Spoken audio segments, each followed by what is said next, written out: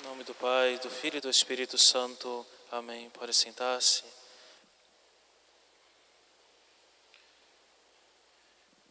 Prezado minorista João Bosco, reverendas irmãs, meus amados irmãos, também aqueles que nos acompanham de suas casas, a Santa Missa está sendo celebrada em ação de graças pelo aniversário de Edino Apolinário. E celebrando esta Santa Missa, a terceira missa, a missa do dia de Natal, queria que nós voltássemos o nosso olhar para nosso Senhor, para o menino Jesus. Na noite em que Jesus nasceu, Deus se aproxima da humanidade, toma uma forma de uma criança e se aproxima de cada um de nós em meio à noite, em meio à pobreza. Qual, meus amados irmãos, é a explicação para tudo isto? Em primeiro lugar, o amor que Deus nos tem. A grande lição é o quanto Deus nos ama. Ele nasce por nós, ele morre por nós. Nasce sem ter um local seu próprio para nascer. Ele morre sem ter uma sepultura que fosse sua. Os extremos, mas para provar o grande amor que Ele tem por cada um de nós. Queria tomar um poema de Santo Afonso Maria de Ligório, Tu scendi dalle stelle, tu desces das estrelas, que possa ser essa nossa conversa pessoal com Jesus neste dia Tu desces das estrelas, ó Rei dos céus, e vens a uma gruta no frio e no gelo. Ó menino meu divino, eu te vejo aqui a tremer. Ó Deus beato, quanto te custou haver-me amado? A ti que és do mundo o Criador, faltam agasalhos e fogo, ó meu Senhor Querida e eleita criança, esta tua pobreza me apaixona, pois foi o amor que te fez pobre novamente. Tu deixas as delícias da intimidade divina para vir a sofrer sobre essa palha. Doce amor do meu coração, aonde te levou o amor? Ó oh, meu Jesus, por que tanto sofrer por meu amor? Mas se sofres por tua própria vontade, por que então este choro? Por que estes gemidos? Meu Jesus, eu te entendo. Ah, meu Senhor, tu choras não de dor, mas de amor. Tu choras ao ver a minha ingratidão, um amor tão grande e tão pouco amado. Ó oh, amado do meu coração. Se foi assim outrora, hoje somente por ti eu anseio. Querido, não chores mais, pois eu te amo, te amo. Enquanto dormes, meu menino, o coração não dorme, mas vigia a todo momento. Vai, meu querido e puro cordeiro, em que pensas? Dize-me tu, ó amor imenso, um dia em morrer por ti respondes: É o que eu penso. Então pensas em morrer por mim, ó Deus?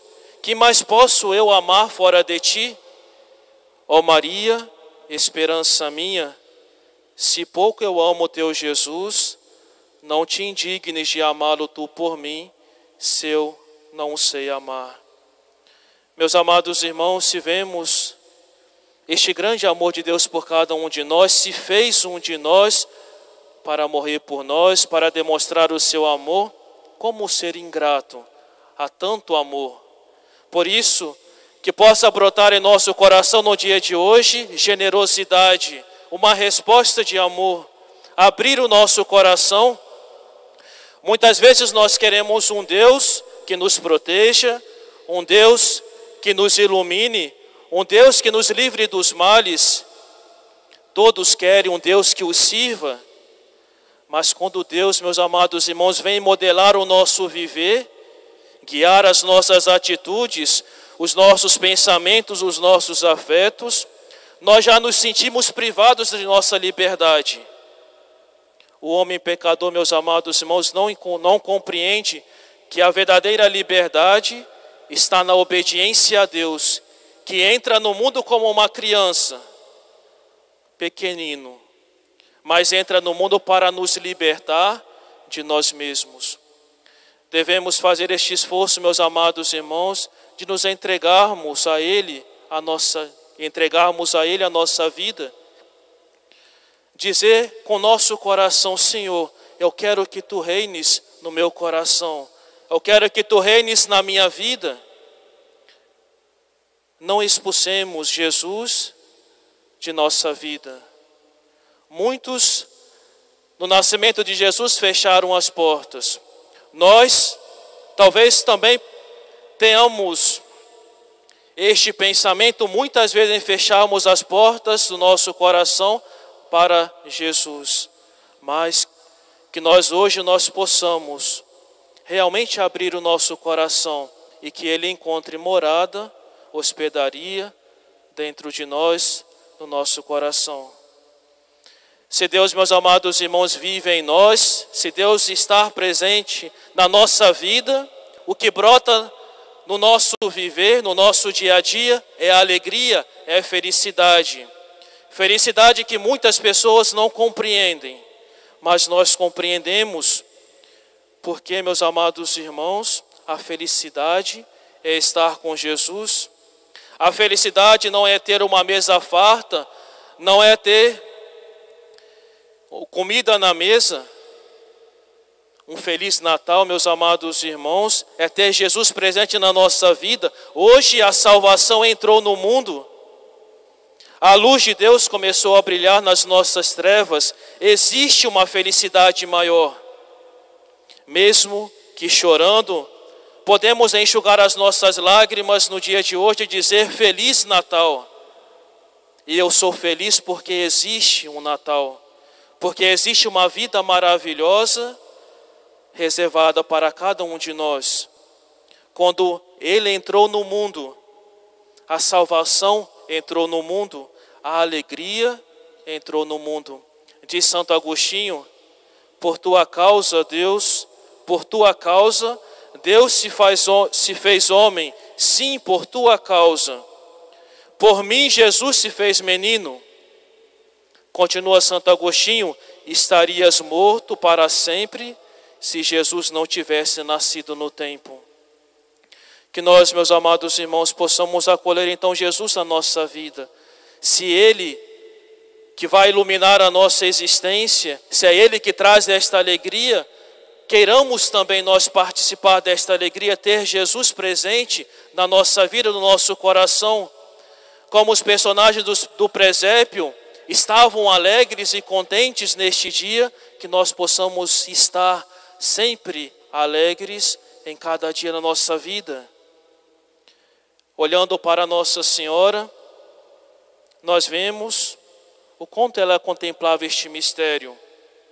Quando nós queremos olhar para o céu, nós olhamos para cima.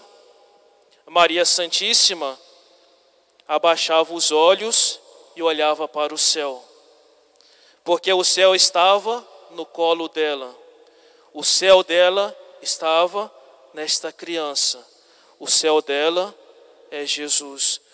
Porque nada, meus amados irmãos, porque onde está Jesus é estar no céu, é existir céu, que nós possamos também, neste dia de Natal, que nós possamos, ao fechar os nossos olhos, também acolhemos esta graça de Deus na nossa vida e vivermos o céu.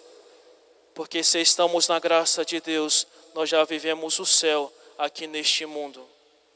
Que nós possamos pedir essa graça ao nosso Senhor nesta Santa Missa, que nós possamos ter generosidade, gratidão, que nós possamos ter humildade para estarmos prostrados diante do presépio, diante de Jesus e que nós possamos participar desta alegria neste Santo Natal.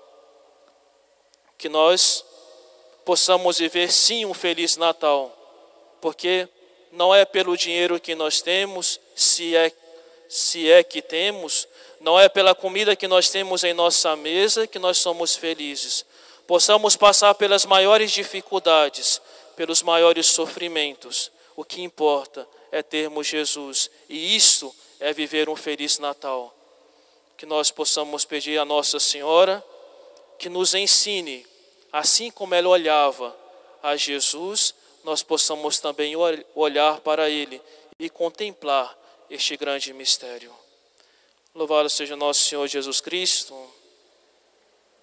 Em nome do Pai, e do Filho e do Espírito Santo.